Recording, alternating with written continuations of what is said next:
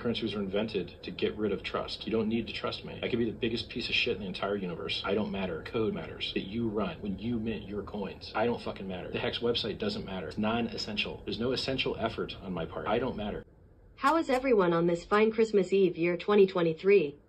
It is Sunday morning, but I am watching the effin' hangout from Friday, so that would have been two nights ago. Trap would want me to point out the blow off top that some of the people did. But I'm in a loving mood. SJ asks the panel what was your favorite part of this year now that we're at the end of it? And how is the outlook forward? SJ answers her own question and points everyone to the memorial NFT that Mana made for SJ to memorialize her cat who passed last month. Have you heard of Mana the NFT artist? It has been brought to my attention that Mana is able to sell NFTs for a few million Pulse Chain coins. But also residuals are made with each purchase thereafter. I am not sure if it is an automatic tax or collected by the third-party marketplace. But let's see what the dollar value is for this example. Mana make a sale for 9 million, then gets 245 million to date on passive sales. A total of 254 million Pulse Chain coin equates to $15,748 at current prices. Oh fuck, what are these people doing? In case you just rose up in your chair, I want to remind you that Mana is kind of the popular chick on the block right now. But do you think this NFT is worth 9 million coins? And how about that leverage of time versus pay? Wow. For SJ's cat memorial, that piece is attached to her emotionally. People love custom art of their pets. I've known that starving artists can always sell pet portraits. But the cat memorial is a custom piece which would not scale outside of a culture being tapped. Let's break down the emotions that may cloud a person's analysis of NFTs. I see that the value of an NFT is the visual interaction. Some people have suggested that I place architecture plans or smaller inventions plans into NFT format. Within those images, valuable information is sought when the mind inquires. I think the 3D image memorial works the same way. Information available for reference but I wouldn't want to make any of my professional floor plans into NFT until I know I get automated royalties. Same would go for the plastic 3D prints I do. Before we move on to the next topic, I want to point out the recent issues NFTs have had. Ethereum updates have locked positions of the past, and NFT artists like Mana are required to make new contract addresses if they want to continue selling. This happened to the staker class NFTs, they have been organizing a complete relaunch. But back to talking about SJ. I think we need to tell the women what we want. Allow the turmoil in their life be their own. But here we are, relating to them inside our community, and asking of them to do the things we want. Because what I think I am seeing is the females that are the fire signs or the entertainers or the people most vocal on social media.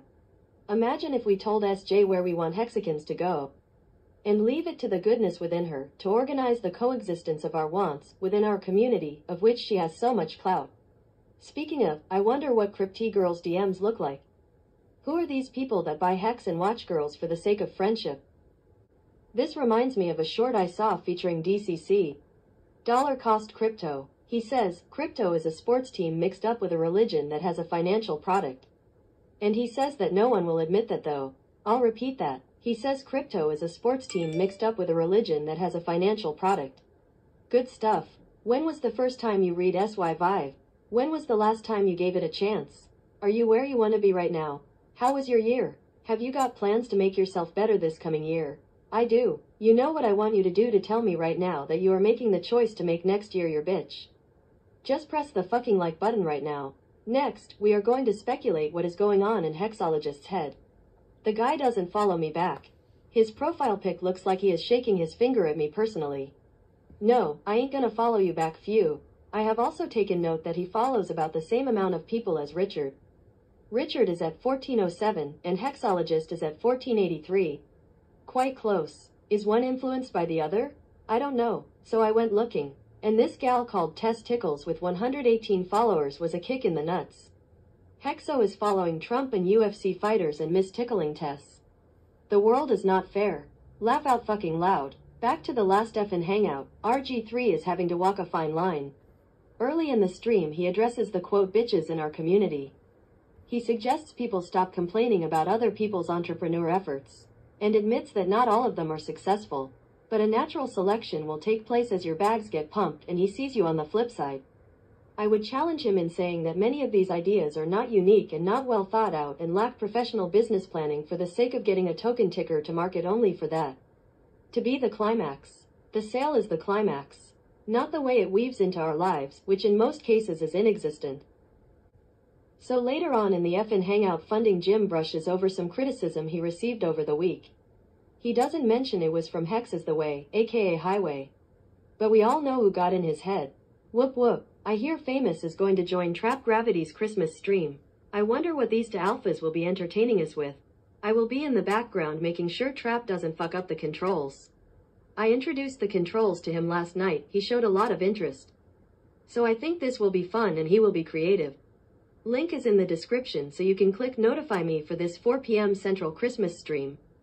Yesterday I mentioned the outdated Staker app that launched with this community in the first year or two of Hex.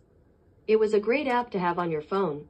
Checking on your portfolio multiple times per day, it gave you the total numbers right in front, bold and large. Similar to what Xiaomi is telling you to do lately.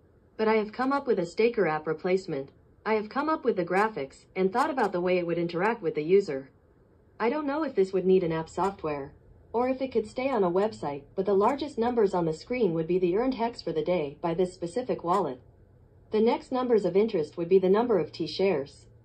This would be translated graphically into the number of working bodies on the screen. More working bodies, more hex payout that day. The little graphics could be little GIFs that have rigid motions but stay in place. And the final number of interest that changes over time is the total value of the portfolio wallet down at the bottom. Available for your eyes when you have interest. But not the focus of this interaction. The primary interaction here is the game gaining more workers to gain more tokens on the daily. Snow or shine, awake or sleeping, dead or alive bitch. So, back to Staker app, the Gen 1 good old days. Hex is the way had addressed the developer Steph on December 16th. He says we mourn the death of Staker app, not really. But Steph has been preoccupied with a coin of his own instead of making a Staker version 2 that would save the funds of many stuck users. Yikes. Oh, and get this. He gives it a hashtag of here we go again. Because it's another person that saw jump to the idea of tokenizing something. And ultimately, that tokenized idea is introduced to the same economical power that could buy hex tokens instead. Most times I like to see how things pan out when a new thing comes around. I like to analyze its failure, but I don't take joy in its optimism. I don't know where to drop the axe, so typically I do it after someone deserves excommunication. And not any sooner. Has crypto made you guys more hard-shelled? Has crypto sped up you social development? Here is Flassless Tools if you don't know him already. Look for him. He knows how to read the blockchain. And isn't afraid to be different. Have you used the hashtag Hex Civil War? It's a good one. Here is post from Highway again that calls out Hex clones. Fuck y'all. Do y'all remember the first time Hex Maxi, then quickly after hearing RH Maxi? This was a term used to get you to loosen up. Let your guard down. Well, Hexicans have come across strangers trying to pry them on their Hex tokens. Let's take a look at what Joni Chaos said on the subject. Sometimes the first thing that came into the community was Hexy, and it split the community in half. We had civil war in Hex when Hexy came in. Guess what happened? The guys runned. It was over. We had Axion, Hex Business, Hex Money, uh, uh, Hex 2X, uh, Tweak and Air, okay? We, we have some people in the community that are still doing Coin of the Month Club, for God's sakes.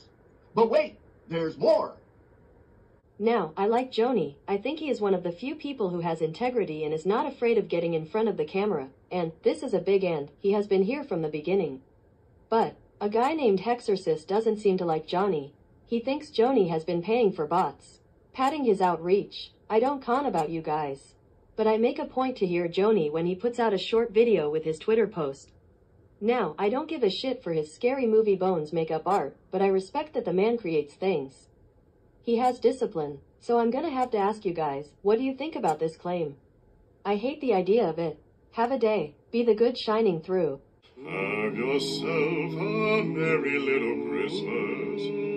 Let your heart be light. Next year all your troubles will be out of sight. So have yourself a merry little Christmas.